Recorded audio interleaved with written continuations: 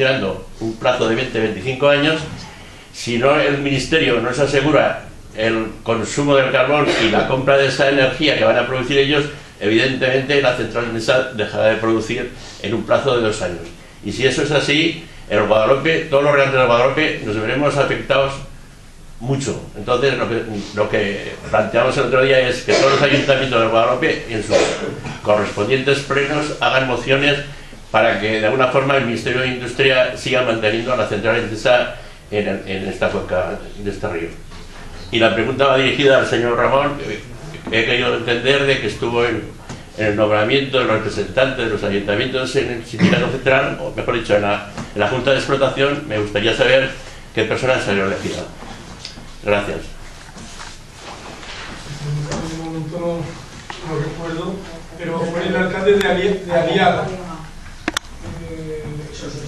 Sí, se, solo, solo, se presentó él, eh, se acudieron eh, de cuatro ayuntamientos y, y, no se presentó nada más que él, entonces pues no hubo ni siquiera el motivo de votación. Él dio sus datos y como explotación de las aguas eh, de consumo de boca pues, eh, de toda la población, o sea, de toda la cuenca del Guadalupe, eh, tiene que haber siempre uno, igual que explotación de regantes, y, y, entonces pues eso, eso fue el acto que allí se recibió. No recuerdo ahora, el, me lo apunté y lo tengo, incluso me dio una tarjeta y tal, y está creo trabajando en Teruel, a todos los fines de semana pero en este momento no te puedo decir el nombre. Mañana si quieres te llamo por teléfono. No, es un caso curioso porque normalmente lo teníamos. Lo, lo teníamos en el sindicato, lo teníamos consensuado de que era Calanda Alcañiz Caspe, y era rotativo. Pues, pues allí, allí se presentó Alcañiz y, y, se presentó uno, uno también de, de y, ninguno se quiso presentar. Muy bien. Solo el, el, el, alcalde de allá. Gracias. Hemos tomado nota de los huevos y queremos saber, pues de todas maneras, sí que es cierto que esto también se ha hablado ya con otros ayuntamientos de, de toda la cuenca de, bueno, de, lo que, de las que formamos parte de lo que es el embalse y, a ver si, si en total pues vamos a hacer más fuerza. Pero vamos, lo intentaremos llevar adelante. ¿Alguna pregunta más? Sí. Me gustaría preguntar, mm, porque en las partidas presupuestarias yo no he visto ninguna partida que se pudiera destinar a una posible obra de energética de la conexión a la edad. Entonces, si eso se produjese, porque el Consejo Provincial dijera que adelante, no sé si en enero o en febrero, ¿se supone que al no haber partida presupuestaria durante este año no se podría acometer o no? A ver, yo, este tema, evidentemente se tendrá que llevar a cabo con los normativas. El tema de que no haya partida presupuestaria en este momento no impide que se pueda llevar a cabo. A ver, yo lo digo siempre, a ver, el presupuesto, eh, es un instrumento pues, pues, primordial ¿no? en un ayuntamiento, pero es algo estático, o sea, se puede ir modificando, se puede ir moviendo. Eh, entonces, bueno, si se diera esa situación en el ejercicio 2015, podríamos echar mano de de tesorería para poder, o alguna modificación presupuestaria de partidas para poder acometer esa inversión. No lo impediría el hecho de que no haya partida en este momento. ¿Alguna? Eh, sobre lo que han dicho del nuevo colegio, eh, ha, han dicho que es algo pendiente de años atrás. Entonces, la pregunta es, ¿desde qué año se lleva planteando eso? Eh, cuándo ha salido la sugerencia de hacerlo ahora y si se va a consultar con colegios o demás por tener algo más de información. Quiero decir que es que no... Sí puede ser. 5 o 6 años. Porque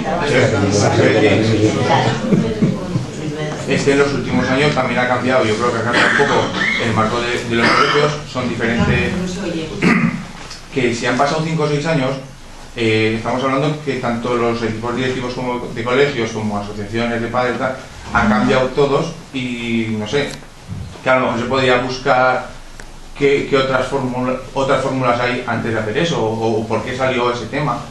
No sé. Pues ese tema ante la imposibilidad de ampliación de un colegio como ese del compromiso. Pero que está no tiene posibilidad de ampliación.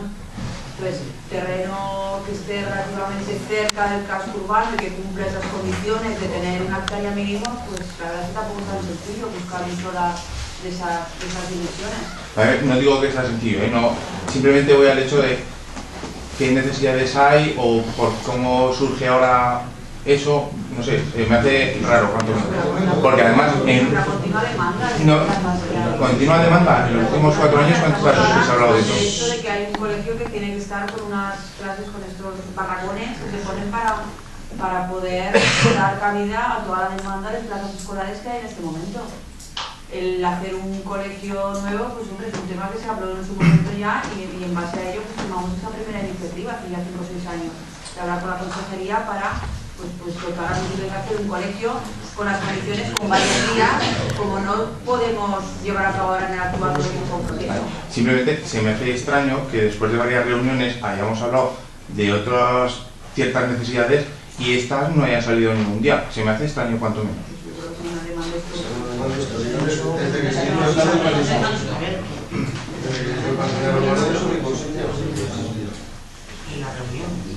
En. No se ha hablado nunca. De acuerdo, eh, digo que cuando se han tenido las reuniones siempre habéis eh, ido aportando las demandas que ibais teniendo puntuales y, es de lo que se hablaba en, el actual eh, colegio como se está funcionando ahora, que es de lo que se tiene que hablar. Es decir, si esto es una demanda que viene de años atrás, nosotros la hemos recogido, pero mm, yo, vamos, por, por nuestra parte tampoco éramos sabedores si vosotros estabais ya informados o no anteriormente. Quiero decir, que no- en, las, en las reuniones se va hablando de- del día a día, que es lo que se ha ido haciendo a lo largo de todas las, de todas las reuniones mantenidas. Si me permites, no me queda claro, quiero decir, tu, tu exposición es porque no estás de acuerdo, pregunto, con la ubicación, con la Ya no lo ubica, quiero decir, la, la, la- mi, mi es simplemente la falta de información. Quiero decir, no La que pillaba de. Vamos, se ha estado buscando ciertas necesidades y ciertos arreglos a un colegio que, no sé, como que ahora ya no va a existir. Se está haciendo, una previsión. La DGA tampoco tenía la dinero para hacer una. La DGA tampoco tenía dinero suficiente para hacer un colegio. Pero en caso de que tuviera dinero la DGA, hay que darle al ayuntamiento un espacio y eso, es lo que hemos puesto. El poder planificar de cara al futuro, cuando la DGA decida, tengo para el colegio de Castro, pues ya usted que claro. Es- Se ha hecho una previsión del futuro. Pero ya estaba puesta en el plan general urbano, en el FOBU, cuando se empezó los temas, ya la posibilidad de hacer un colegio nuevo porque aquel no se puede ampliar del, del FOBU. Llevamos cinco años ya, o seis, con eso. La falta de información es una, porque esto recogía en el plan general que hacer eso mismo, o sea, Bueno, ¿alguna pregunta más?